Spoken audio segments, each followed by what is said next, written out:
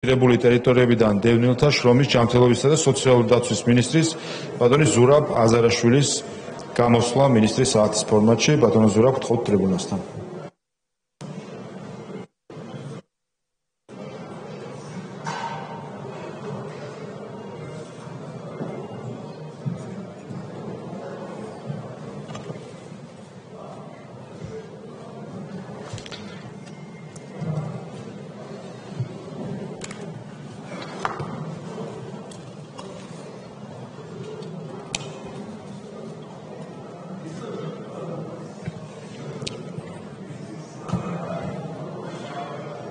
მოგესალმებით პატრიცემულო პარლამენტის წევრებო, მიესალმებით ჩვენს საზოგადოებას, თანსტრემედიის წარმომადგენლებს.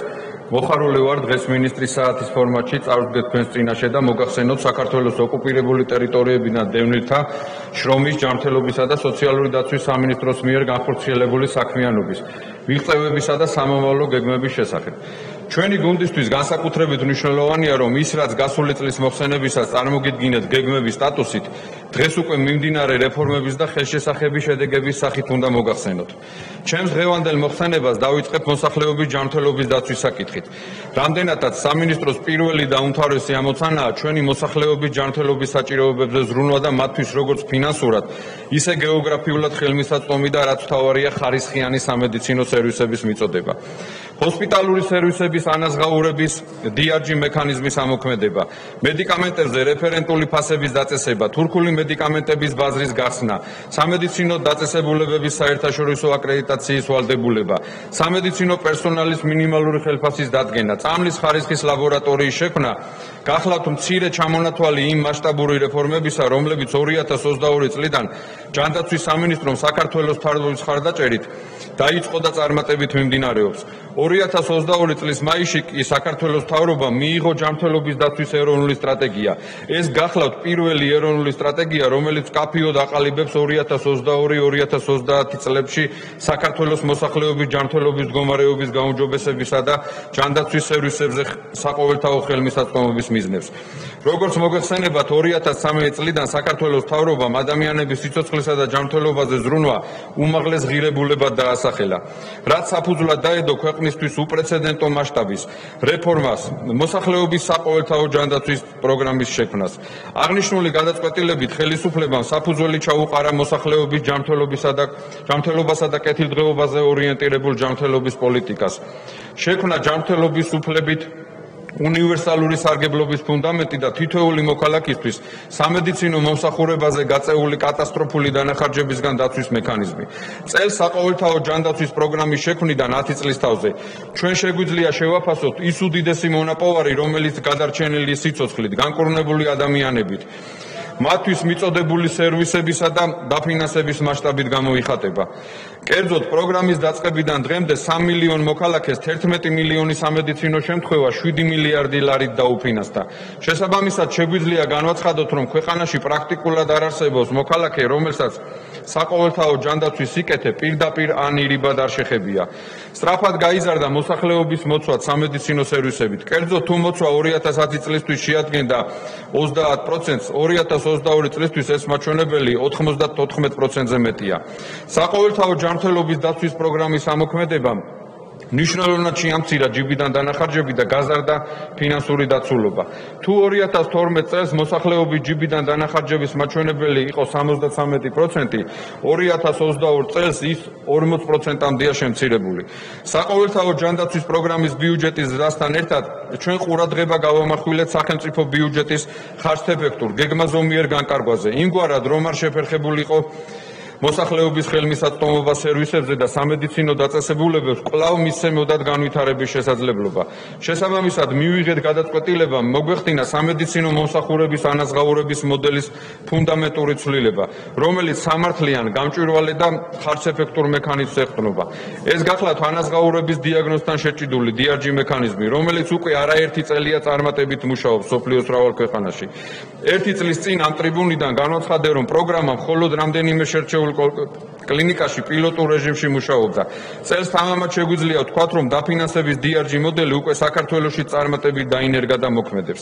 2022 წლის 1 იანვრიდან სამედიცინო სერვისებზე ამის მიხედვით განისაზღვრა სტანდარტიზებული ფასი, რომელიც თანაბარია ქვეყნის მასშტაბით ყველა სამედიცინო დაწესებულებებისთვის.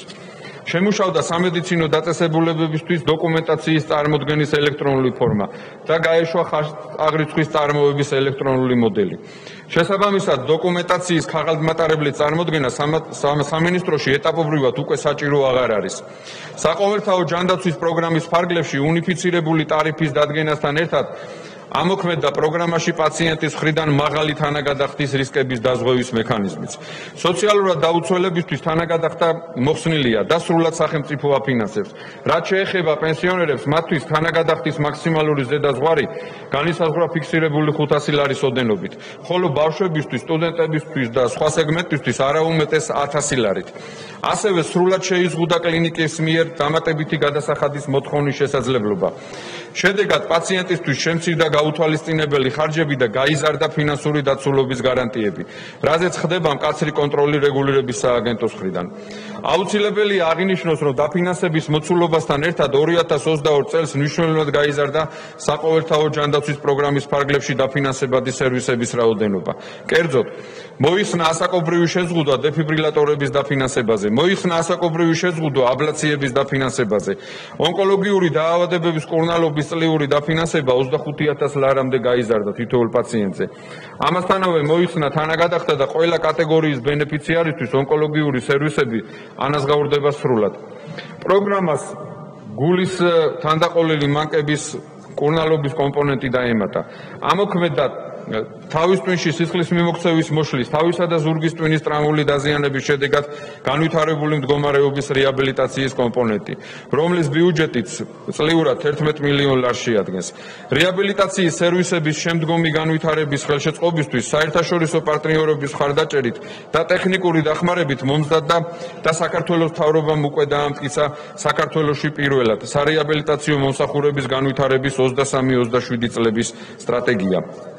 უნდა აღინიშნოს, რომ 2023 წელს წინა წელთან შედარებით საყოველთაო ჯანდაცვის პროგრამის ბიუჯეტი გაზრდილია და შეადგენს 880 მილიონ ლარს.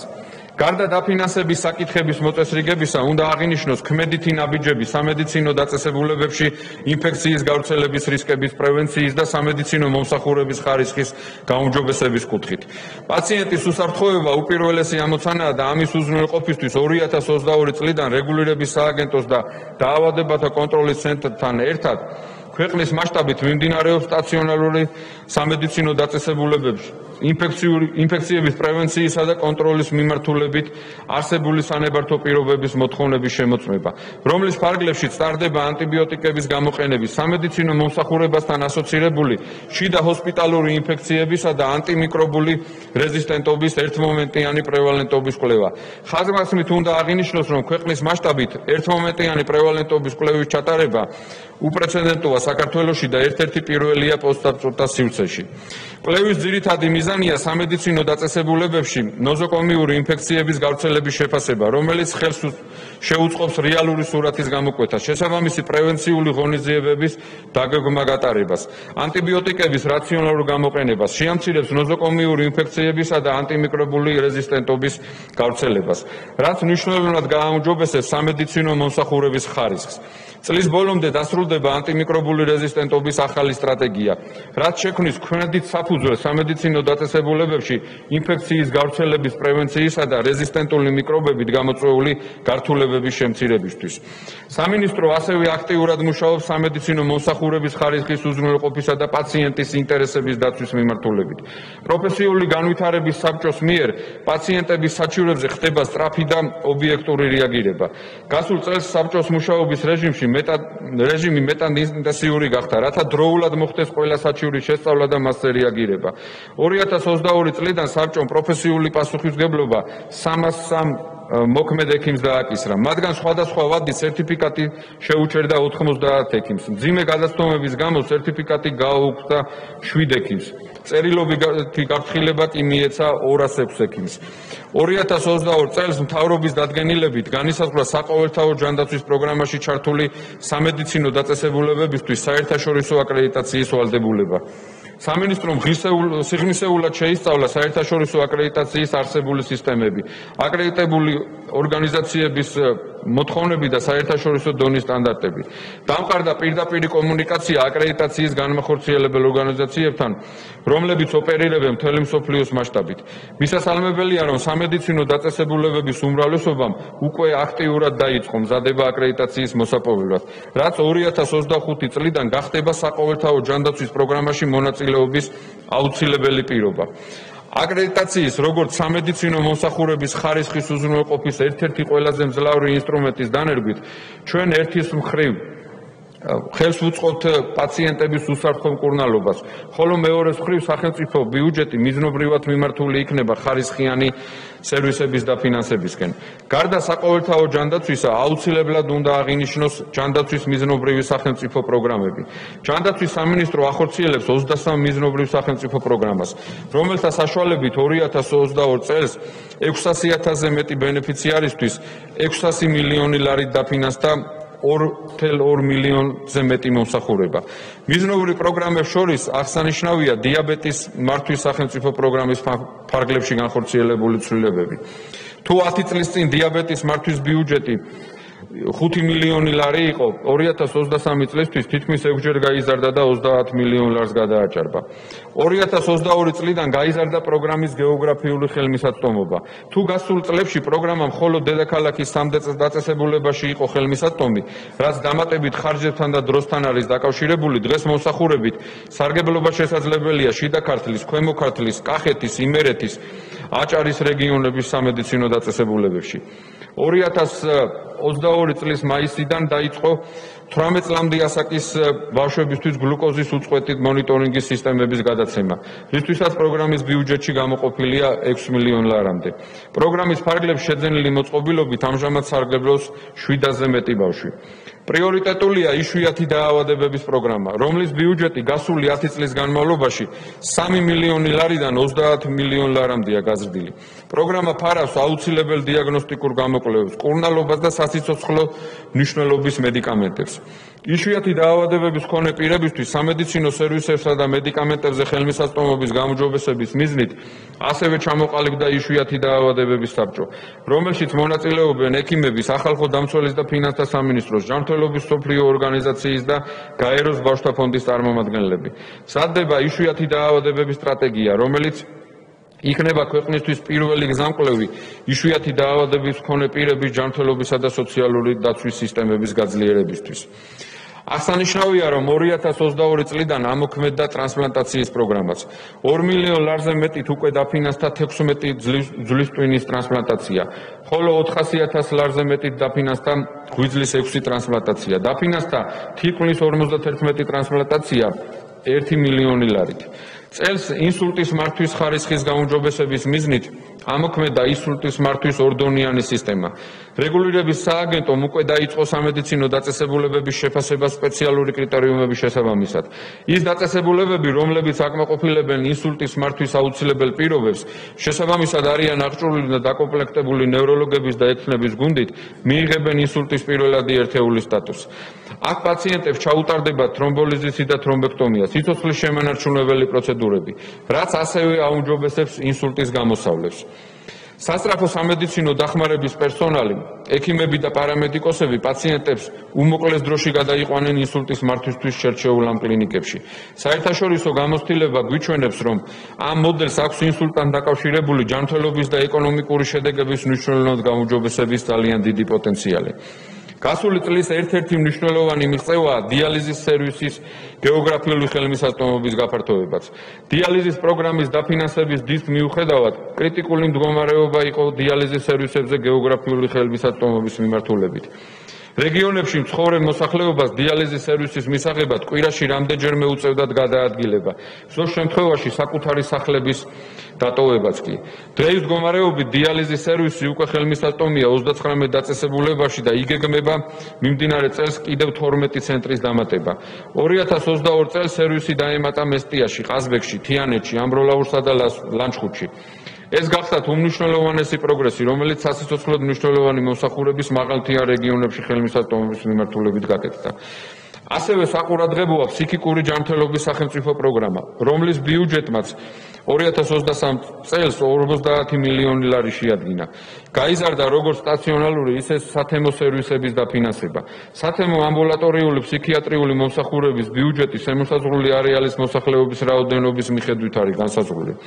მიმდინარეობს ფსიქიკური მიმდინარეობს მუშაობა ფსიქიკური ჯანმრთელობის სტანდარტების განახლებაზე და თანამედროვე ინფრასტრუქტურული და კლინიკური სტანდარტების დანერგვაზე ფსიქიატრიული პროფილის კლინიკებში. გასულ წელს კიდევ ერთხელ მოხდა საერთაშორისო საზოგადოების მიერ ცეჰეპატიტის ელიმინაციის სახელმწიფო პროგრამის მიღწევების აღიარება. დაავადებათა კონტროლის და საზოგადოებრივი ჯანმრთელობის დაცვის ცენტრს მიენიჭა ჯანმრთელობის სოფლიო ორგანიზაციის კოლაბორაციული ცენტრის სტატუსი, რაც მას საშუალებას აძლევს ჩვენს ქვეყანაში დანერგილი მოდელი სხვა ქვეყნებსაც გაუზიაროს. პროგრამაში უკვე განიკურნა 80000-ზე მეტი საქართველოს მოქალაქე. მინდა ვისარგებლო ამ შესაძლებლობით და მოუწოდო ყველა მოქალაქეს აქტიური სკრინინგისა და დაავადების დადასტურების შემთხვევაში მკურნალობისკენ. რათა ერთად შევძლოთ 2025 წლისთვის უპრეცედენტო შედეგის C ჰეპატიტის სრული ელიმინაციის მიღწევა საქართველოში. საზოგადოებას კიდევ ერთხელ შევახსენებ, რომ პროგრამაში ჩასართავად საჭირო დიაგნოსტიკური კვლევები და სრული მკურნალობა 100%-ით სახელმწიფოს მიერ ფინანსდება.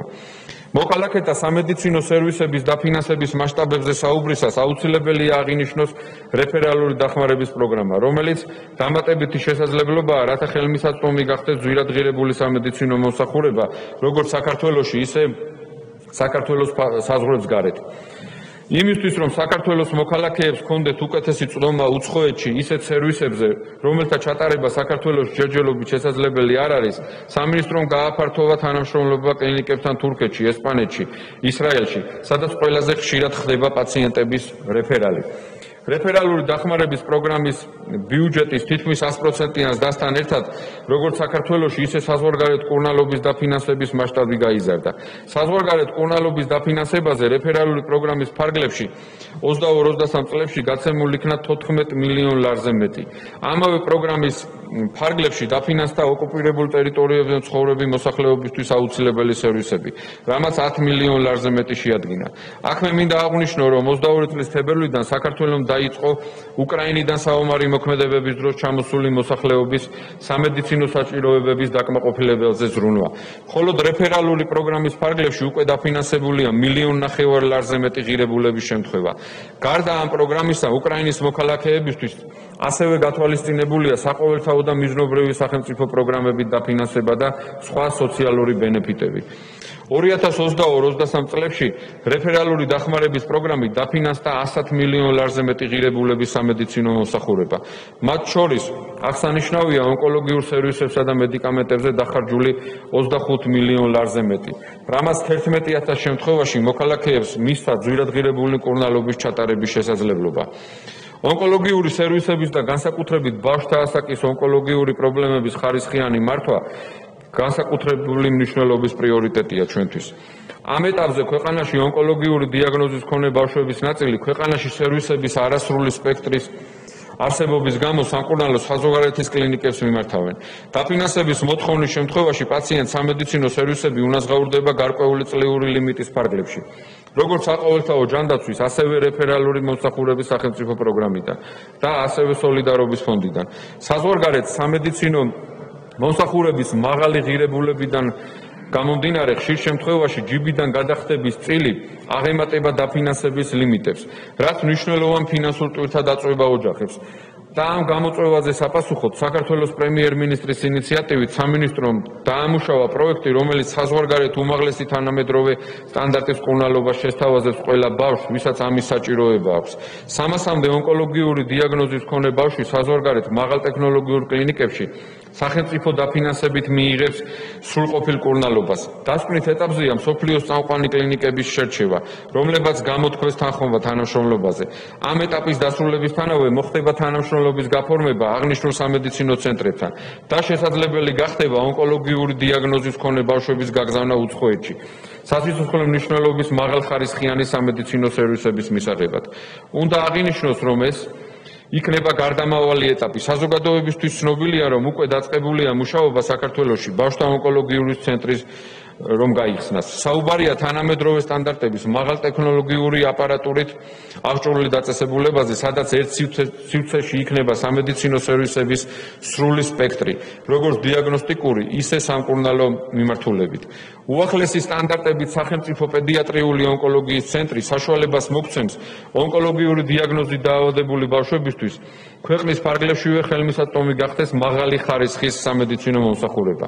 ჯანდაცვის სახელმწიფო პროგრამების შემდეგ სურს მოგახსენოთ იმ ფუნდამენტური ცვლილების შესახებ, რაც 2022 წლიდან ფარმაცევტული რეგულირების მიმართულებით გაუმჯობესებისა და ხარისხიანი მედიკამენტებზე ხელმისაწვდომობის გაზის მიმართულებით განვახორციელეთ.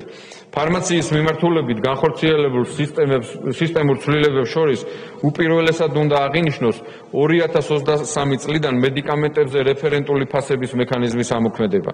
გასულ წელს მინისტრის საათის ფორმატში ამ რეფორმის დანერგვის აუცილებლობაზე ვისაუბრე. დღეს კი შესაძლებლობა მაქვს მისი შედეგები მოგახსენოთ.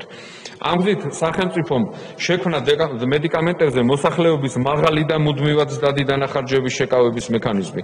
მოსახლეობის ჯიბიდან გადახდების უდიდესი წილი ტრადიციულად სწორად სწორედ მედიკამენტებზე მოდიოდა. წამლის ფასი ძირითად შემთხვევებში იყო არაპროგნოზირებადი, მუდმივად ცვალებადი და ძირითადად სუბიექტურ ფაქტორებზე დამოკიდებული. სამინისტრო სამედიცინო და ფარმაცევტული საქმიანობის რეგულირების სააგენტოს მიერ უწყვეტ რეჟიმში ხორციელდება ფარმაცევტულ პროდუქტზე განსაზღვრული რეფერენტული ფასის დაცვაზე მონიტორინგი და კონტროლი. მინდა მადლიერება გამოხატო ყველა სახელმწიფო უწყების და განსაკუთრებულად მინდა მადლიერება გამოხატო კონკურენციის სააგენტოს მიმართ ამ პროცესში აქტიური თანამშრომლობისთვის. დღეისათვის 1600-ზე მეტ მედიკამენტზე უკვე განისაზღვრა რეფერენტული ფასი, რამაც მნიშვნელოვნად შეამცირა ამ მედიკამენტების ღირებულება.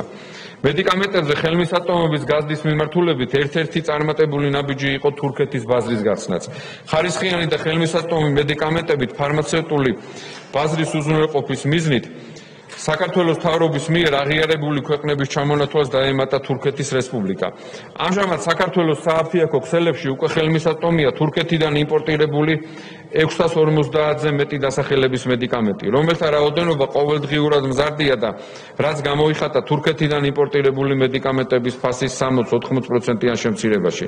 თურქული მედიკამენტების მოხმარების მაჩვენებელი მაღალია და ეს პირდაპირ აისახა ყოველი მოხმარების შემცირებულ დანახარჯებსა და კურნალობის ეფექტურობაზე. შესაბამისად, ამ მედიკამენტებზე წლისჭრილში მოსახლეობა დაახლოებით 200 მილიონი ლარი უკვე დაზოგა. აღსანიშნავია, რომ 22-23 წლებში ჯანდაცვის სექტორში გატარებულმა ძირეულმა რეფორმებმა განსაკუთრებით ფარმაცევტული სექტორის რეგულირების სფეროში საერთო ჯამში მნიშვნელოვანი ასახვა ჰპოვა ქვეყნის საერთო ინფლაციის შემცირებაშიც. სამედიცინო მიმართულებით ფასების შემცირების ძირითადი განსაზღვრელი ფაქტორია მედიკამენტებზე ფასების შემცირება, რომელიც სამედიცინო ხარჯების საერთო სტრუქტურაში დაახლოებით 65%-ს იკავებს. სტატისტიკის სახელმწიფო სამსახურის მონაცემებით რეფერენტული ფასების დაწესებამ და თურქეთიდან მედიკამენტების იმპორტის გამარტივებამ და გაიაფებამ საერთო ჯამში მედიკამენტების მიმართულებით საბაზრო ფასები დაახლოებით 12.5%-ით შეამცირა, რამაც მნიშვნელოვანი ასახვა პოვა მიმდინარე წელს ქვეყანაში ინფლაციის განაკვეთის შემცირებაში. ფარმაცევტული ბაზრის რეგულირების გაძლიერებასთან ერთად მოსახლეობისთვის მედიკამენტებზე გაწეული დანახარჯების შემცირების მიზნით სახელმწიფო აგრძელებს ქრონიკული დაავადებების სამკურნალო ყველაზე ხშირად მოხმარებადი მედიკამენტების დაფინანსებას. 2022 წელს წინა წელთან შედარებით 18 მილიონ ლარზე მეტით გაიზარდა ქრონიკული დაავადებების სამკურნალო მედიკამენტების ხარჯი და 40 მილიონამდე ლარი შეადგინა. ხოლო პროგრამის მოსარგებლეების რაოდენობა 2021 წელს 224000-დან 22 წელს 312000-მდეა გაზრდილი. ჩვენი ამოცანაა რეფერენტული ფასების დაწესებით მიღებული ეკონომიით სრულად უზრუნველყოთ ამ ადამიანების მთელი წლის ქრონიკული მედიკამენტების საჭიროება. ხარისხიან მედიკამენტებზე ხელმისაწვდომობის გაუმჯობესებისთვის არსებითი მნიშვნელობა აქვს GMP GDP სტანდარტების სავალდებულო დანერგვას. 2022-23 წლებში გაიცა 50 საბითუმო დისტრიბუტორის GDP სტანდარტთან შესაბამისობის სერტიფიკატი. ასევე გაცემულია სამი ფარმაცევტული წარმოებისთვის ნაციონალური GMP სერტიფიკატი. ასევე წინა წელს პარლამენტში სიტყვით გამოსვლისას მოგახსენეთ წამლის ლაბორატორიის პროექტის შესახებ, რომელიც გასულ კვირაში უკვე ოფიციალურად გავხსენით. მედიკამენტების ხარისხის უზრუნველყოფის მიმართულებით ერთ-ერთი მნიშვნელოვანი წინგადადგმული ნაბიჯია წამლის ხარისხის ეროვნული ლაბორატორიის ჩამოყალიბება. წამლის ხარისხის ლაბორატორია მოკლე ვადაში აღიჭურვა და დაკომპლექტდა შესაბამისი კვალიფიკაციის კადრებით. მიმდინარეობს აქტიური მუშაობა შესაბამისი მიმართულებით საერთაშორისო სერტიფიცირებისა და აკრედიტაციის მოპოვების მიზნით.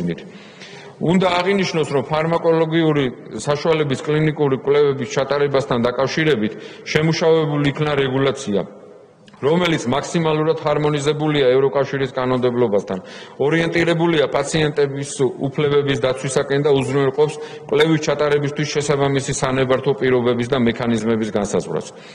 მედიკამენტების რაციონალური გამოყენების ხელშეწყობით მიზნით გასულ წელს ავამოქმედებთ ელექტრონული რეცეპტების სავალდებულო სისტემა.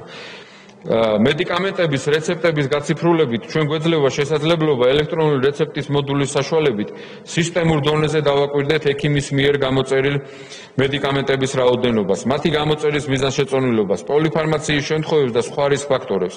ასევე მნიშვნელოვანია, რომ ჩვენ გადავედით მექანიზმზე, რომელიც ითვალისწინებს რეცეპტში მედიკამენტის არაბრენდული, არამედ გენერიკული დასახელებით გამოწერას. აღნიშნული ვალდებულების მიზანია აღკვეთოს ისეთი ფარმაცევტული მარკეტინგის ფაქტები, როდესაც წარმოებელი კომპანია ექიმს თავაზობს გარკვეულ мотиваციებს, კონკრეტულად მათი წარმოების მედიკამენტის გამოწერისათვის. ეს მანკიერი პრაქტიკა ცალსახად საჭიროებდა რეაგირებას და ერთი წლის განმავლობაში გამოწერილია უკვე 3 მილიონ ნახევარზე მეტი რეცეპტი. ასევე განსაკუთრებით აქცენტი მსურს გავაკეთო სააფთიაქო ნარკომანიაზე, რომელთა ბრძოლა ჩვენი ერთ-ერთი პრიორიტეტია და შესაბამისად უწყვეტ რეჟიმში ხორციელდება ფარმაცევტული ბაზრის კონტროლი. მიმდინარე ეტაპზე 280 დაწესებულებაში განხორციელდა პირველ ჯგუფს მიკუთვნებული ფარმაცევტული პროდუქტების ლეგალურ ბრუნვაზე კონტროლის ღონისძიებები, რის შედეგადაც გამოვლინდა უკანონო ფარმაცევტული საქმიანობის 220-ზე მეტი ფაქტი. გამოვლენილი დარღვევების საფუძველზე ჩამორთვეული იქნა 800.000-მდე ერთეული პირველ ჯგუფს მიკუთვნებული ფარმაცევტული პროდუქტი. დაწყებულია ასევე მუშაობა აფთიაქის სტანდარტის შემუშავებასთან დაკავშირებით. აღნიშნული სტანდარტი მოიცავს აფთიაქის ინფრასტრუქტურასთან, მედიკამენტების შენახვის გარემო პირობებთან, პერსონალის მოთხოვნებთან და სხვა მნიშვნელოვან კომპონენტებთან დაკავშირებულ საკითხს. პაციენტების უსაფრთხოების უზრუნველყოფისთვის სტაციონარული დაწესებულების სანებართო რეჟიმის სრულყოფისა და სამედიცინო მომსახურების ხარისხის საერთაშორისო დაღიარებულ სტანდარტებთან შესაბამისობის მიზნით ამოქმედა სანებართო პირობები ქირურგიული სერვისებისთვის და შეიქმნა რეანიმაციის სტანდარტი. განხორციელდა ცვლილებები მარეგულირებელ კანონმდებლობაში, რომლის შედეგადაც დარეგულირდა ნარკოლოგიური საქმიანობა, ზოგადი ანესთეზიის სტომატოლოგიური საქმიანობა, დახმარე რეპროდუქციული ტექნოლოგიებით მომსახურება. ამ მიმართულებით ჩვენ ვაგრძელებთ მუშაობას და უახლოეს პერიოდში სამედიცინო დაწესებულებებს წარუდგენთ ახალ მარეგულირებელ ნორმებს სხვადასხვა მიმართულებით. მათ შორის უნდა აღინიშნოს სამედიცინო მოწყობილობების მარეგულირებელი სტანდარტის მომზადება, რომელიც დამუშავების აქტიურ ფაზაშია და მიმდინარე წლის ბოლო კვარტალში უკვე მზად გვექნება. დარგობრივი მარეგულირებელი ნორმების განახლება კრიტიკულად მნიშვნელოვანია საერთაშორისო სტანდარტებთან დაახლოებისა და პაციენტებისთვის უსაფრთხო და ეფექტური მკურნალობის უზრუნველყოფისთვის. ჯანმრთელობის სოფლიო ორგანიზაციის რეკომენდაციების შესაბამისად საქართველოს შეუერთდა პაციენტის უსაფრთხოების გლობალურ ქსელს. სამინისტროში ჩამოყალიბდა პაციენტის უსაფრთხოების საბჭო, რომელიც აერთიანებს სამთავრობო უწყებების, პროფესიული ჯგუფებისა და ასოციაციების წარმომადგენლებს. საბჭო იქნება მთავარი პლატფორმა სამომავლოდ პაციენტის უსაფრთხოების პროგრამის მომზადების და დანერგვის კოორდინაციისთვის. ეს მნიშვნელოვან დადებით გავლენას იქონიებს პაციენტის გამოცდილებაზე ჯანდაცვის სისტემაში და კლინიკურ შედეგებზე. როდესაც საუბრობთ სამედიცინო საქმიანობის რეგულირებაზე, აქვე აუცილებლად უნდა აღინიშნოს ექიმების პროფესიული რეგულირების საკითხები. სახელმწიფოსთვის კრიტიკულად მნიშვნელოვანია მოსახლეობას მომსახურებას უწევდეს მაღალკვალიფიციური ექიმები. თუმცა სახელმწიფოც ვალდებულია იზრუნოს მათი შრომის პირობებსა და უფლებების დაცვაზე. სწორედ ამ მიზნით ამ მიზნით წელს ამოქმედდა მინიმალური ანაზღაურების მექანიზმი ექიმებსა და ექნებისათვის. დასაქმებლისთვის გაჩნდა ვალდებულება, რომ ექიმს ყოველ საათში აუნაზღაუროს არანაკლებ 7 ლარი და ექთანს არანაკლებ 4 ლარი და 40 თეთრი. ამ რეგულაციით ხელფასის და შეეხო სისტემაში 9000-მდე ექიმს და 8000-ზე მეტ ექთანს. იმისათვის რომ აღნიშნული ვალდებულება იქნას დაცული, სამინისტროს შრომის ინსპექციის სამსახური ელექტრონული სისტემის საშუალებით რუტინულად ახორციელებს პერსონალისთვის გადახდილი ხელფასის კანონთან შესაბამისობის უწყვეტ მონიტორინგს. ჩვენი სამინისტროსთვის ასევე ერთ-ერთ პრიორიტეტულ მიმართულებას წარმოადგენს დედათა და ბავშვთა ჯანმრთელობა და დემოგრაფიული პოლიტიკა. რისთვისაც მნიშვნელოვანია რეპროდუქციული ჯანმრთელობის სერვისების ხარისხის გაუმჯობესება. მიმდინარე წელს მნიშვნელოვნად გაიზარდა ორსულთა ანტენატალური მოვლის დაფინანსება და პროგრამით გათვალისწინებული 8 ვიზიტის ფარგლებში დაემატა ახალი მოსახურებები. განხორციელდა ორსულებისთვის სამედიცინო მოსახურების მიწოდებელი დაწესებულებების შერჩევა, გადარჩევა ხარისხის შეფასების საფუძველზე.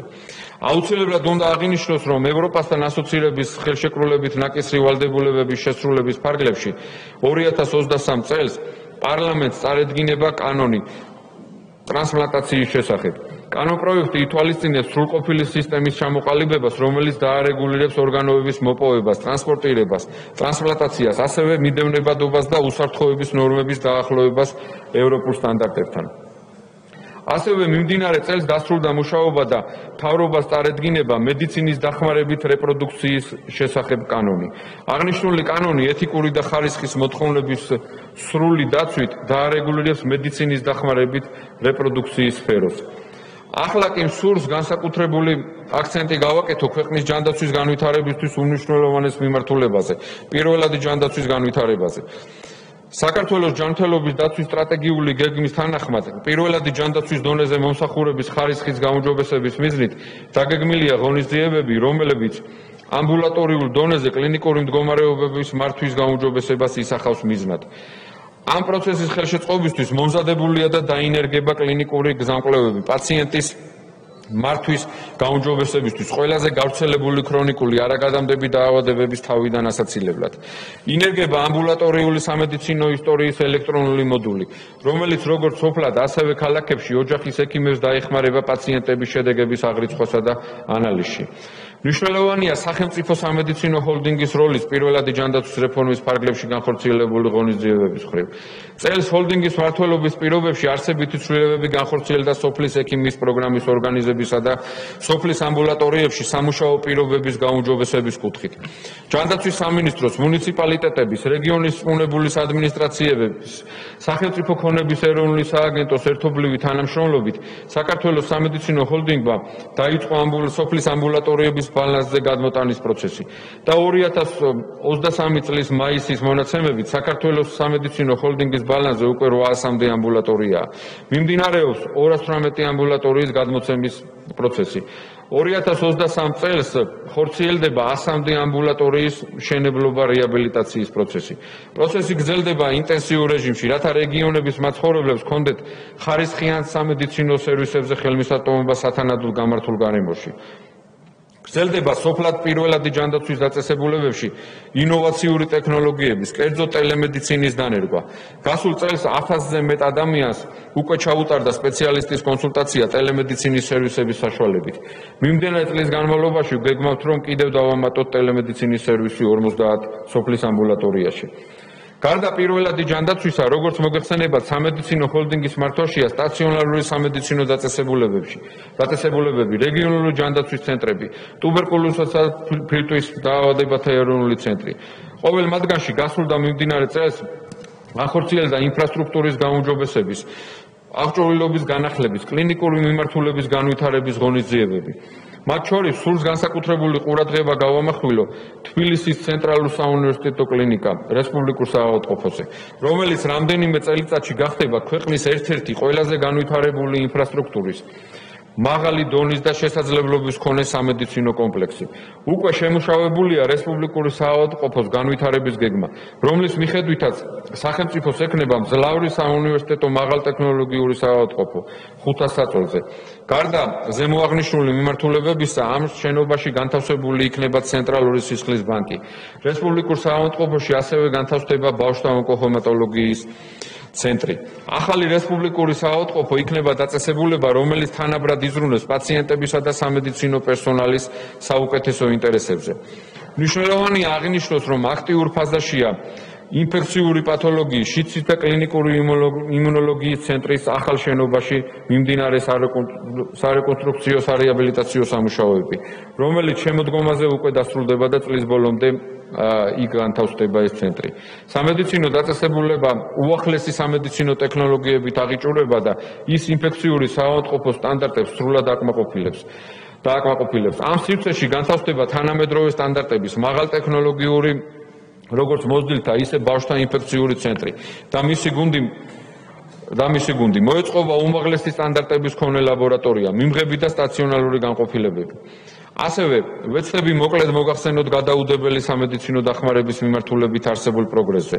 2022 წელს ამოქმედა ჰოსპიტალიზაციის ელექტრონული სისტემა, რომელიც დიაგნოზისა და უახლესი კლინიკის ხელმისაწვდომობის მიხედვით ავტომატურ რეჟიმში ანაწილებს პაციენტებს და გამორიცხავს სასტრაფოს მიერ მიკერძოებულ ჰოსპიტალიზაციას. გაიზარდა გონსდილი და პედიატრიული რეანიმობილების და ბრიგადების რაოდენობაც. 2022 წელს რეანიმობილები ოზურგეთის ხულოს სტეფანწმინდის რაიონებს დაემატა, ხოლო პედიატრიული პაციენტების ტრანსპორტირებისთვის რეანიმობილი დაემატა თბილისსაც. მიმდინარეობს სხვა ტერიტორიულ ერთეულებზე რეანიმობილების დამატების ორგანიზაციული პროცესი. 2023 წელს ცენტრის ავტოპარკს ევროსტანდარტების შესაბამის თანამედროვე სამედიცინო აპარატურით დაკომპლექტებული რთულ რელიეფზე გადასაადგილებლად 23 ერთეული მაღალი გამავლობის სპეცმანქანა შეემატება. დღეის მდგომარეობით ქვეყანას უკვე ემსახურება 378 სასტრაფო სამედიცინო დახმარების და 21 რეფერალური დახმარების ბრიგადა. საგანგებო სიტუაციის სიტუაციების კოორდინაციისა და გადაუდებელი დახმარების ცენტრის თანამშრომლებისთვის ღირსეული სამუშაოს პირობების შექმნისა და მოქალაქეებისთვის გადაუდებელი დახმარების სერვისების გაუმჯობესების მიზნით ცენტრმა 2022 წელს დაიწყო და 23 წელს უკვე დაასრულა 13 რაიონული სამსახურის რეაბილიტაცია. ახალი ცენტრების შენებლობისა და არსებული შენობების რეაბილიტაციის პროექტი უწყვეტად გრძელდება ქვეყნის მასშტაბით. სამინისტროსთვის მნიშვნელოვანი პრიორიტეტია სასტრაფო დახმარების პერსონალური სოციალური დაცვის მექანიზმის პერსონალის სოციალური დაცვის მექანიზმების გაუმჯობესება. 2023 წლიდან ცენტრის ყველა თანამშრომელი გასულ წლებთან შედარებით მნიშვნელოვნად გაუმჯობესებული სადაზღვევო პოლისით უკვე სარგებლობს. სასტრაფო სამედიცინო დახმარების განვითარების მიმართულებით ერთ-ერთი მნიშვნელოვანი ნაბიჯი იყო პარამედიკოსის პროფესიის გაძლიერება.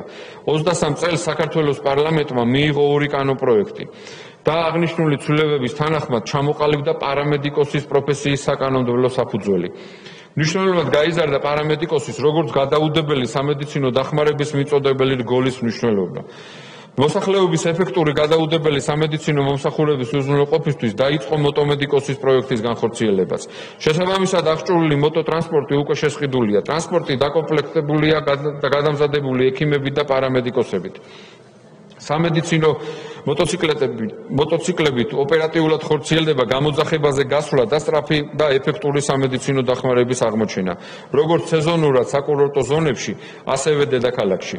საგანგებო სიტუაციების კოორდინაციისა და გადაუდებელი დახმარების ცენტრი სურველებს თავაზობს პარამედიკოსის სპეციალიზაციის კურსის გავლას. პარამედიკოსად დასაქმების ყარ გარანტიებს და ადეკვატურ სახელფასზე ანაზღაურებას. ეს არის მნიშვნელოვანი შესაძლებლობა რომელიც უნდა გამოიყენონ განსაკუთრებით ახალგაზრდებმა, რომლებიც ამჟამად იმყოფებიან პროფესიის შერჩევის პროცესში. სურს განსაკუთრებით აღნიშნო, რომ სამინისტრო წარმატებით მუშაობს სოფლიო ბანკის ადამიანური რესურსის გაძლიერების პროექტის ფარგლებშიც.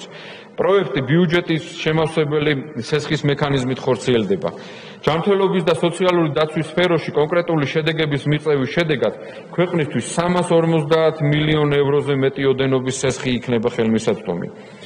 გასულ წელს დაგეგმილზე 2 წლით ადრე შესრულდა ამ მექანიზმის ორი პირობა DRG შემოღებით და რეფერენტული ფასების დანერგვის მიმართულებით.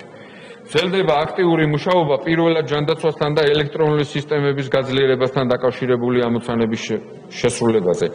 ასევე მიმდინარეობს მიზნობრივი სოციალური დახმარების სისტემების დახვეწა, რაც გააუმჯობესებს სოციალური ბენეფიტების მიზნობრივ და დროულ მიწოდებას ბენეფიციარებისთვის.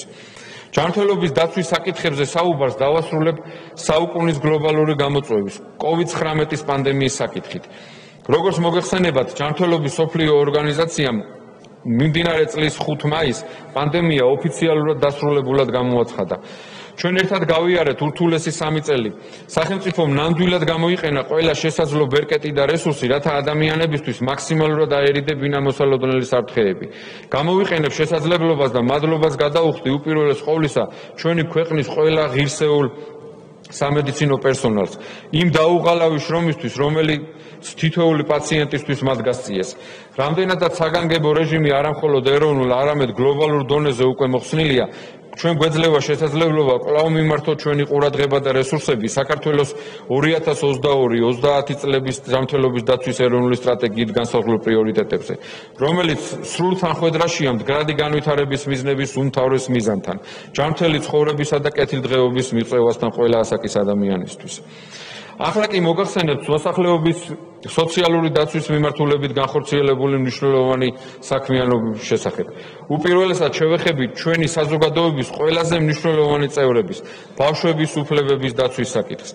აღნიშნული მიმართულებით საქართველოს მართლაც მნიშვნელოვანი რეფორმები განახორციელა. საქართველოს პარლამენტის მიერ მიღებულ იქნა ბავშვის უფლებათა კოდექსი, რომელიც მაღალ სტანდარტს აწესებს ბავშვთა უფლებების რეალიზების თვალსაზრისით. მნიშვნელოვანი ცვლილებები განხორციელდა არასრულწლოვანთა მართლმსაჯულების მიმართულებითაც. შემოღობილი იქნა ბავშვზე ორიენტირებული სოციალური დაცვის პროგრამები და მრავალი სხვა. გამომდინარე იქიდან, რომ ბავშვები საზოგადოების განსაკუთრებული ჯგუფია, მათი უფლებების რეალიზება სწავლობა სხვადასხვა მიზნობრივი პროგრამებით და პროექტებით ახორციელებს.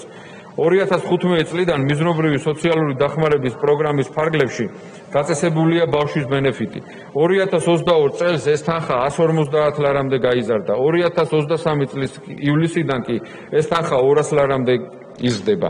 შესაბამისად 2023 წელს სოციალურად დაუცველი ბავშვები 9 მილიარდ ლარამდე ფინანსურ დახმარებას მიიღებენ. ყოველწლიურად იზრდება სოციალური რეაბილიტაციისა და ბავშვზე ზრუნვის სახელმწიფო პროგრამის ბიუჯეტიც და მრავალფეროვანი ხდება პროგრამის ფარგლებში დაფინანსებული მომსახურებები. 2023 წელს პროგრამის ბიუჯეტი 66 მილიონ ლარს შეადგენს, რაც დაახლოებით 15 მილიონი ლარით აღემატება 22 წლის ბიუჯეტს.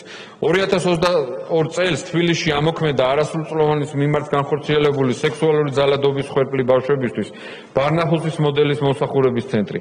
რომელიც არის ამ ტიპის მოსახურების ევროპული სტანდარტის ცენტრი. აღნიშნულ ცენტრში ძალადობის ხელ ბავშვებს მოსახურება მიეწოდებათ ხუთი სახელმწიფო უწყების: ზრუნის სააგენტოს, საქართველოს პროკურატურის, საქართველოს შინაგან საქმეთა სამინისტროს, იურიდიული დახმარების სამსახურისა და სამხარაულის სახელობის სასამართლო ექსპერტიზის ეროვნული ბიუროს მონაწილეობით. მოსახურება გულისხმობს ერთ სივრცეში როგორც რეაბილიტაციო სერვისის მიწოდებას, ასევე საგამოძიებო მოქმედებების ჩატარების უზრუნველყოფას. ბავშვებს ადგილზევე უტარდებათ ექსპერტიზა და შესაბამისი სამედიცინო შემოწმება. გახსნიდან მოსახურებით უკვე ისარგებლა 125-მა ძალადობის ხერხმა არასრულწლოვანმა. ქვეყანაში ბავშვთა დიდი ზომის დაწესებულებების დეინსტიტუციონალიზაციის პროცესი პრაქტიკულად დასკვნის ფაზაშია. 2022 წელს კი განხორციელდა თბილისის ჩვილ ბავშვთა დაშლა და შეიქმნა სამი მცირე საოჯახო ტიპის სახლი, სადაც განთავსდნენ ეს არასრულწლოვნები. აღნიშნულ მცირე საოჯახო ტიპის სახლებში ბავშვებისთვის უზრუნველყოფილია ოჯახურ გარემოსთან მაქსიმალურად მიახლოებული და მათ ინდივიდუალურ საჭიროებებზე ორიენტირებული ზრუნვა და განვითარება. ბავშვების ნაწილი მათი ჯანმრთელობის მდგომარეობიდან გამომდინარე მუდმივად აგრძელებენ კურნალობას შესაბამის სამედიცინო დაწესებულებებში. დემოგრაფიული მდგომარეობის გაუმჯობესების ხელშეწყობის მიზნით ქვეყანაში გრძელდება ყოველთვიური ფულადი დახმარების გაცემა მესამე და მომდევნო ბავშვებზე იმ რეგიონებში, სადაც ბუნებრივი მატება არ აღინიშნება. დემოგრაფიული მდგომარეობის გაუმჯობესების ხელშეწყობის პროგრამის ფარგლებში ამ დახმარების მიღებია ყოველთვიურად 12000 ბავშვი, ხოლო პროგრამის წლიური ბიუჯეტი 23 მილიონ ლარს შეადგენს. ასევე სურს ხაზი გაუსვა ჩვენი ხანდაზმული მოქალაქეების საპენსიო უზრუნველყოფის საკითხებს. სახელმწიფო პენსიის შესახებ საქართველოს კანონში განხორციელებული ცვლილებების შესაბამისად 2021 წლიდან ამოქმედა პენსიის ინდექსაციის წესი. 2022 წელს არსებული მაღალი ეკონომიკური მაჩვენებლების გათვალისწინებით 2023 წელს სახელმწიფო პენსიის ოდენობა 70 წლამდე მოსახლეობისთვის განისაზღვრა 295 ლარით. 70 წლის და მეტი ასაკის პენსიონერებისთვის 365 ლარით. მაღალთიან დასახლებაში შესაბამისად 354 და 438 ლარით. სახელმწიფო პენსიას ყოველთვიურად 815000-ზე მეტი პირი იღებს, ხოლო საპენსიო უზრუნველყოფის მიზნით 2023 წელს გათვალისწინებულია 3 მილიარდ 200 მილიონ ლარზე მეტი. აუცილებელია აღნიშნოთ შეშმო პირთა უფლებების დაცვის მიმართულებით განხორციელებული საქმიანობა. შეშმო პირთა უფლებების დაცვის რეალიზების მიზნით კვლავ აქტიურად გრძელდება მუშაობა როგორც ფულადი დახმარებების ზრდის ასევე მხარდამჭერი მომსახურებების განვითარების მიმართულებით. კერძოდ 2023 წლიდან საქართველოს პარლამენტის და საქართველოს მთავრობის ერთობლივი ძალისხმევით საკანონმდებლო დონეზე დარეგულირდა შეზღუდული შესაძლებლობების მქონე პირების სოციალური პაკეტი და გაიზარდა 65 ლარით. აღსანიშნავია, რომ საქართველოს მთავრობის გადაწყვეტილებით 2022 წლიდან საჯარო საქმიანობის განხორციელების პარალელურად სოციალური პაკეტის მიღების უფლება მოიპოვა საჯარო სექტორში დასაქმებულმა ყველა შეზღუდული შესაძლებლობის სტატუსის მქონე პირმა. აქტიურად მიმდინარეობს შშმ პირთა დიდი ინსტიტუციების დაშლის პროცესი, რაც გულისხმობს შეზღუდული შესაძლებლობის მქონე პირთა დიდი ზომის დაწესებულებების დახურვას და მათ ჩანაცვლებას მცირე ზომის ოჯახურ გარემოსთან მიახლოებული ალტერნატიული ზრუნვის მომსახურებებით. ამჟამად პროცესი მიმდინარეობს დუშეთისა და მარტყოფის შშმ პირთა პანსიონატებში. 2023 წელს შემუშავდა და დამტკიცდა შეზღუდული შესაძლებლობის მქონე პირთა დამოუკიდებელი ცხოვრების და დეინსტიტუციონალიზაციის სტრატეგია და სამოქმედო გეგმა. გარდა ამისა, საერთაშორისო პარტნიორების ხარდაჭერით მიმდინარეობს მნიშვნელოვანი რეფორმა, რომელიც შეეხება შესაძლებლობის შეზღუდის სტატუსის განსაზღვრის სამედიცინო მოდელის ჩანაცვლებას ბიოფსიქოსოციალური მოდელით. რეფორმა გულისხმობს შეზღუდული შესაძლებლობის სტატუსის მინიჭებას არამხოლოდ სამედიცინო დიაგნოზის, არამედ ფუნქციური შეფასების საფუძველზე. აღნიშნული რეფორმა მიმდინარეობს შესაბამისი დანერგვის სამოქმედო გეგმის მიხედვით. 2023 წლიდან საპილოტო რეჟიმში ამოქმედება ორი ახალი სოციალური პროგრამა. შინმოვლისა და პერსონალური ასისტენტის მოსახურებები ხანდაზმულებისთვის და შეშმოპირებისთვის. მნიშვნელოვანია აღნიშნოს მიზნობრივი სოციალური დახმარების საკითხები. როგორც მოგეხსენებათ, ქვეყანაში მოქმედებს მიზნობრივი სოციალური დახმარების პროგრამა, თავარი ინსტრუმენტი, რომელსაც საქართველოს მოწყვლადი შინამოვნებების ფინანსური რესურსების უზრუნველყოფისთვის იყენებს. ოჯახების სოციალურ-ეკონომიკური მდგომარეობის შეფასებაზე დაფუძნებული პროგრამა ხანდაზმულობის პენსიის შემდეგ ყველაზე დიდია როგორც ხარჯების, ისე მოსახლეობის დაფარვის თვალსაზრისით. აქვე უნდა აღინიშნოს, რომ სოციალურად დაუცველი ოჯახების იდენტიფიცირებისა და დახმარების მიზნით ქვეყანაში გამოიყენება ოჯახების სოციალურ-ეკონომიკური მდგომარეობის შეფასების მეთოდოლოგია, რომელიც კეთილდღეობის შეფასებას სოფლიო პრაქტიკაში აღიარებული მეთოდოლოგიის და მიხედვით იყენებს და საშუალებას გვაძლევს მოვახდინოთ ოჯახების რანჟირება მათი კეთილდღეობის მიხედვით და შესაბამისად უზრუნველყოთ მოწყვლადი ოჯახები მონეტარული და არამონეტარული დახმარებებით. როგორც ცენტრალურ ისე ადგილობრივ დონეზე. ამჟამად პარტნიორი ორგანიზაციების ხარდაჭერით მიმდინარეობს აქტიური მუშაობა ოჯახების სოციალურ-ეკონომიკური მდგომარეობის შეფასების მეთოდოლოგიის განახლებაზე და დახვეწაზე. რათა იგი პასუხობდეს ქვეყანაში არსებულ სოციალურ-ეკონომიკურ სიტუაციას და საჭიროებდეს და საჭიროებებს, გაიზარდოს პროგრამის მიზნობრიობას. რაც შეეხება სოციალური დახმარების სხვა პროგრამებს, როგორც მოგეხსენებათ, გარდა ზემოაღნიშნული სოციალური პროგრამებისა, სოციალურად დაუცველი ბოდიში ოჯახების მონაცემთა ერთიან ბაზაში რეგისტრირებული ოჯახებისთვის გათვალისწინებულია ელექტროენერგიის და სასმელი წყლის საფასურის სუბსიდირება. 200.000-ზე მეტ ოჯახს უსუბსიდირდება წლიურად 16 მილიონი ლარი. 2023 წლიდან საქართველოს თავრობის გადაწყვეტილებით მიწისქვეშა სამუშაოებზე დასაქმებული პირები, მამაკაცები 60 წლის ასაკიდან და ქალები 55 წლის ასაკიდან, რომელთაც აქვთ ბოლო 10 წლის განმავლობაში მიწისქვეშა სამთო სამუშაოებზე უწყვეტი სამუშაო სტაჟი, საპენსიო ასაკის მიღწევამდე იღებენ ყოველთვიურ სოციალურ დახმარებას სახელმწიფო პენსიის ოდენობით. აქვე გავაჟღერებ ინფორმაციას მნიშვნელოვანი პროექტის შესახებ, რომელიც ჩვენი მოქალაქეებისთვის გაუმჯობესებული სოციალური სერვისების მიწოდებას ისახავს მიზნად. კერძოდ 2023 წელს დაინერგება სერვისების ერთი ფანჯრის პრინციპით მიწოდების მექანიზმი, რაც გულისხმობს რეგიონალურ დონეზე ჯანმრთელობის, ბავშვების ზრუნვის, სოციალურ და დევნილთა საკითხებზე მოქალაქეთა ერთ სივრცეში სწრაფ და ხარისხიან მომსახურებას. ამ მიზნით იწყება სოციალური მომსახურების 13 სერვის ცენტრის სარეაბილიტაციო სამშენებლო სამუშაოები. განახლებულ ინფრასტრუქტურასთან ერთად დაინერგება ახალი ელექტრონული სისტემები, გადამზადდება პერსონალი და საბოლოო ჯამში ჩამოყალიბდება თანამედროვე სტანდარტების სოციალური მომსახურების სისტემა. 2023 წლიდან მნიშვნელოვანი ცვლილება განხორციელდა დეკრეტული შეებულების ანაზღაურების თვალსაზრისითაც. თანხა 1000 ლარიდან 2000 ლარამდეა გაზრდილი. სოციალური სააგენტოს ბენეფიციარების მომსახურე ბანკთან მიღწეული შეთანხმებით გადაიხედა მომსახურების პირობები და 2023 წლის იანვრიდან განისაზღვრა ფიქსირებული მაქსიმალური ზღვარი სესხებზე რეფინანსირების განაკვეთს +15%-ის ოდენობით. რაც შეეხება ჩვენი ხელისუფლებისთვის უმნიშვნელოვანეს საკითხს დასაქმების პოლიტიკას როგორც მოგეხსენებათ თავრობის ერთ-ერთ უმთავრეს ამოცანას განისაზღვრება დასაქმების ხელშეწყობა. შრომის აქტიური პოლიტიკის გაძლიერებით როგორც მოგეხსენება დასაქმებით ხელშეწყობის სააგენტო 2020 წლის 1 იანვრიდან ფუნქციონირებს. სააგენტო ქვეყანაში ახორციელებს შრომის ბაზრის აქტიურ პოლიტიკას და სამუშაოს მაძიებლებს თავაზობს დასაქმების ხელშეწყობის სხვადასხვა მომსახურებას. აწვდის ინფორმაციას ბაზარზე არსებული აქტიური ვაკანსიების შესახებ.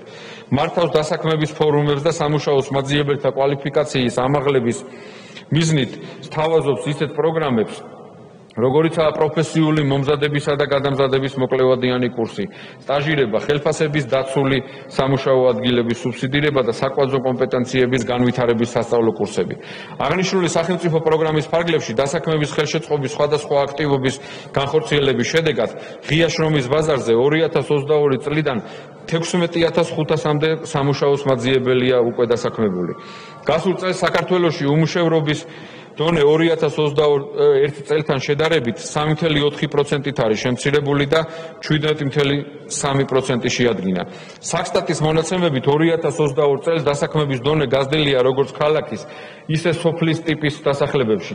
შესაბამისად 2 და 3.2%-ული პუნქტით და 44% და 42%-ს შეადგენს.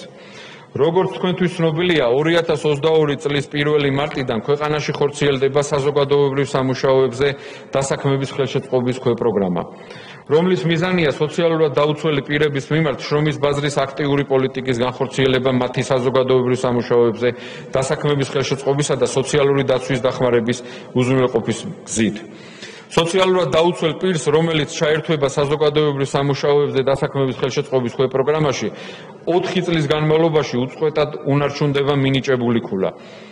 ამ ქულასთან მიბმული საარსებო შემწეობა და ყველა ის ბენეფიტი, რომელიც მანამდე რომლითაც მანამდე სარგებლობდა. ამ ოჯახის სოციალურ-ეკონომიკური მდგომარეობა 4 წლის განმავლობაში არ დაექვემდებარება გადამოწყვებას სოციალური მომსახურების სააგენტოს მხრიდან. აპრილის მდგომარეობით თუ საარსებო შემწეობის მიღებია დაახლოებით 660000 პირი აქედან დაახლოებით 173000 პირს ოჯახის წევრის საზოგადოებრივი დასაქმების ხელშეწყობის სახელმწიფო პროგრამაში ჩართვის გამო 4 წლის განმავლობაში გარანტირებულად უნარჩუნდება საარსებო შემწეობის მიღების უფლება. ქვეპროგრამის დაწყებიდან 2023 წლის პირველი კვარტლის მდგომარეობით საზოგადოებრივ სამუშაოზე აქტიური კონტრაქტი აქვს 31600 სოციალურად დაუცველ პირს. მათ შორის 3200-მდე შეზღუდული შესაძლებლობის მქონე პირია. 4500-ზე მეტ შეუწყდა დასაქმების კონტრაქტი. ასევე საკუთარი ეკონომიკური საქმიანობის ფორმალიზება უკვე მოახდინა 2000-ზე მეტმა მოსარგებლემ. ღია შრომის ბაზარზე მათგან დასაქმებულია 12600 ადამიანი. აქვე მოგახსენებთ შრომითი მიგრაციის მიმართულებით განხორციელებულ ნაბიჯებს. შრომითი მიგრაციის რეგულირების მიზნით, როგორც ემიგრაციის, ასევე იმიგრაციის მომზადა და საქართველოს პარლამენტს წარედგინა შრომითი მიგრაციის შესახებ საქართველოს კანონში ცვლილების პროექტი. რომელმაც წარმატებით გაიარა მეორე მოსმენა. ცვლილებები ეხება ისეთ საკითხებს, როგორიცაა საშუალო კომპანიების სავალდებულო სერტიფიცირება, საშუალო კომპანიების საქმიანობაზე სახელმწიფო მონიტორინგის ეფექტიანი სისტემის ჩამოყალიბება. ადგილობრივ შრომის ბაზარზე უცხოელების დასაქმების პროცესის საკანონმდებლო დონეზე რეგულირება და მათ დასაქმებაზე სახელმწიფო მონიტორინგის ეფექტიანი სისტემის ჩამოყალიბება. შრომით იმიგრაციის სფეროში სახელმწიფოთა შორისი თანამშრომლობის განვითარებისა და საზღვარგარეთ დროებით ლეგალური დასაქმების შესაძლებლობის გაფართოების მიზნით საქართველოს თავრობას უკვე აქვს გარკვეული შედეგები. კერძოდ 22 წლიდან საზღვარგარეთ გერმანიასა და ისრაელში დასაქმდა 1500-მდე საქართველოს მოქალაქე. პარალელურად მიმდინარეობს დიალოგი ევროკავშირის სხვა წევრ ქვეყნებთან. პორტუგალიასთან, ესპანეთთან, ჩეხეთთან, ხორვატიასთან, ავსტრიასთან, ირლანდიასთან, სლოვენიასთან, კვიპროსთან და უნგრეთთან. დროებით ლეგალურად დასაქმების, ცირკულარული შრომით იმიგრაციის შესაძლებლობების გამოვლენის მიზნით. ახლა კი მსურს განსაკუთრებით აღნიშნო შრომის ინსპექციის მიერ განხორციელებული მნიშვნელოვანი საქმიანობა. შეგახსენებთ, რომ შრომის უფლებების დაცვისა და ღირსეული სამუშაო პირობების უზრუნველყოფის კუთხით სამინისტროს საქმიანობა რამდენიმე მიმართულებას მოიცავს. უპირველეს ყოვლისა აღსანიშნავია დასაქმებულთა უფლებების დაცვა, რომლის რეალიზებისთვის 2022 წლიდან შრომის ინსპექციის სამსახურმა საქართველოს მასშტაბით ყველა ეკონომიკური საქმიანობის განმახორციელებელ აქტიურ სუბიექტზე განახორციელა ჯამში 4700-ზე მეტი ინსპექტირება, რომელიც მოიცავდა ზედამხედველობას როგორც შრომის უსაფრთხოების და ჯანმრთელობის დაცვის მიმართულებით, ისე შრომის კანონმდებლობით გათვალისწინებული უფლებების აღსრულებისა და იზოლებითი შრომის და შრომითი ექსპლუატაციის შემთხვევების გამოვლენისა და პრევენციის მიმართულებით.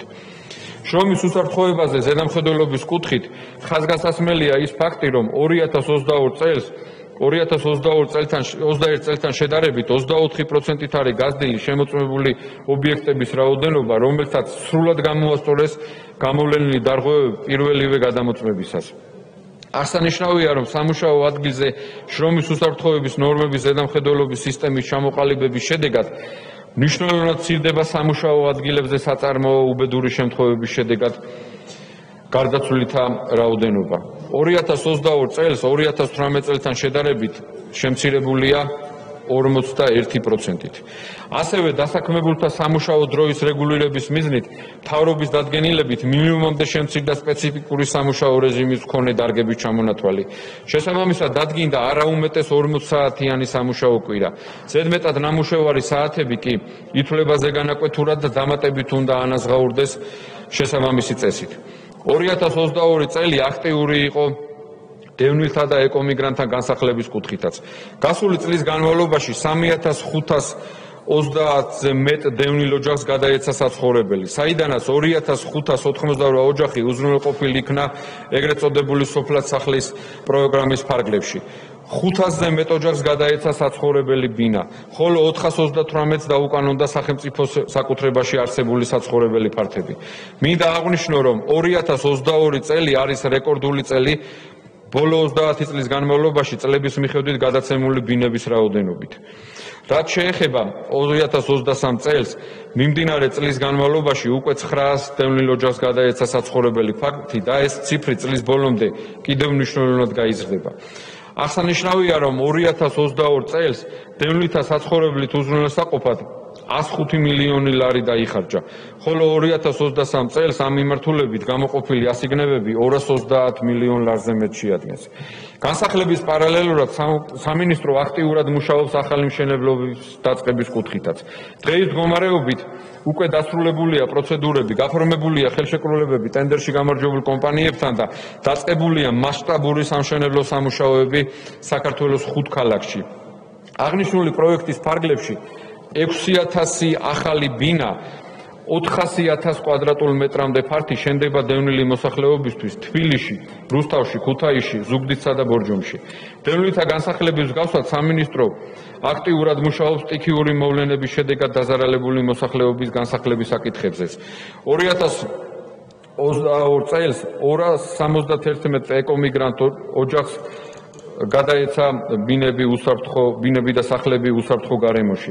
ხოლო 2023 წელს დამატებით 300 ოჯახისთვის იგეგმება საცხოვრებელი სახლების შესყიდვა. ბოლოს მინდა შევეხო ერთ-ერთ მნიშვნელოვან საკითხს, რომელიც უკრაინელ ტოლვილებს უკავშირდება. მათთვის სოციალური